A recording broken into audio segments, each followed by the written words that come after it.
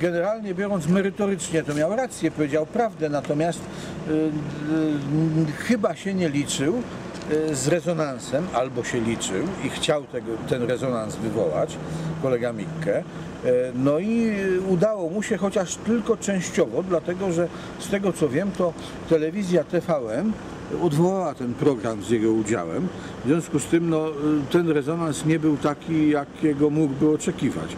Y, Natomiast niewątpliwie y, y, ta wypowiedź wywołała komentarze i to no, przydało rozgłosu osobie kolegi Janusza. Natomiast nie wiem, czy będzie miało polityczne przełożenie i czy będzie miało przełożenie korzystne. No to się okaże, to się okaże. W każdym razie takie wypowiedzi sprzyjają powstawaniu nieporozumień różnych. Y, Podobnie jak poprzednio y, y, ta scena z dziewczynką niepełnosprawną, tam kaleką dziewczynką. Potem trzeba te nieporozumienia odkręcać i to strasznie dużo energii absorbuje. Także nie wiem, czy per saldo opłaca się skórka za wyprawę.